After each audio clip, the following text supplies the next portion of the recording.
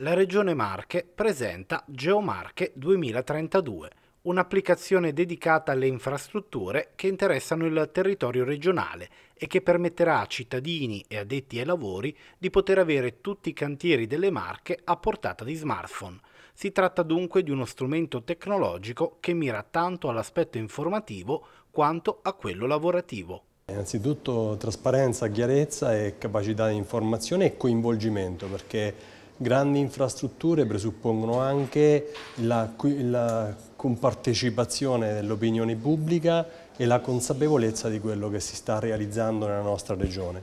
La nostra è una regione che non è abituata a pensare alle infrastrutture e oggi che ci sono tante opportunità e ci saranno fra poco veramente tanti cantieri è giusto che la comunità sia consapevole e partecipi attivamente insieme agli enti locali a questo processo di rinnovamento e anche di potenziamento del nostro territorio. È uno strumento di democrazia digitale che porta sul telefonino di ogni cittadino marchigiano il piano strategico delle infrastrutture Marche 2032. Quindi è uno strumento molto potente da un punto di vista comunicativo perché tutti i cittadini marchigiani sanno e sapranno quello che è accaduto e sta accadendo nelle Marche.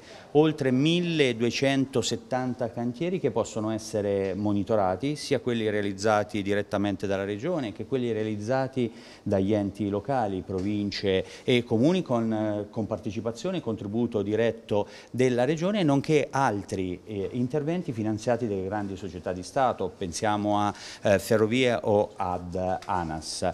E poi uno strumento particolarmente utile per tutti i comuni, dal nord al sud della Regione, per eh, le professioni, penso all'ordine degli architetti, ai nostri geometri, all'ordine degli ingegneri, perché trovano una cartografia dettagliata di tutta la nostra regione sulla quale potranno lavorare. Ovviamente sul web si trovano anche altri strumenti, ma strumenti sui quali non si può lavorare. Su questi si potrà lavorare e ad esempio eh, nel prossimo futuro porsi in un qualsiasi punto del nostro eh, territorio marchigiano, ad esempio eh, in cima ad un campanile come punto di osservazione vedere quello che accade intorno proprio entrando in geomarche 20 e 32. Questo sarà particolarmente utile perché ogni trasformazione urbanistica del territorio potrà essere valutata in anticipo anche da un punto di osservazione in qualsiasi parte del territorio marchigiano. Nel nostro telefonino con un semplice colpo